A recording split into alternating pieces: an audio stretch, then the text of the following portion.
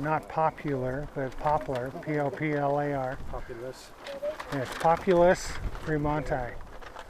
Named after John C. Fremont, who was an explorer, you know, in the 1860s or so, something like that.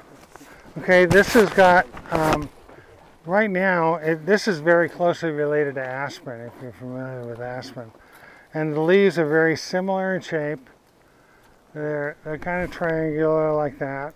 Um, and aspen's got a kind of a cool name because it's Populus tremuloides.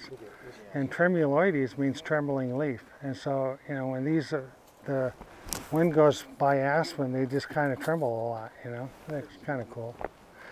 so anyhow, but aspen and cottonwood have got the same uses. You can use, they've got a certain amount of salicin in them, which you can use for headaches and stuff. That's where they, actually they have a lot more salicin and willow, and we'll see a willow over here. but um, I'll tell you about that later. But um, the new in the spring, the new buds on this are very medicinal and they're edible too. They're kind of sticky and stuff, but you can use them and you can make a balm. It's called Balm of Gilead. It's really good topical pain reliever. also, if you take a look on on the trees when they have juvenile bark, you can see the bark on this is pretty smooth and green.